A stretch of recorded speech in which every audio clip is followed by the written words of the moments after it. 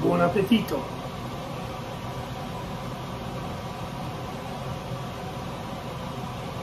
Mm. Simple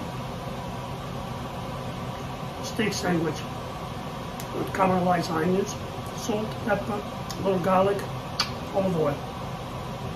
That's all you can do. The best. Simplicity at its best. Thank you for watching. Tchau!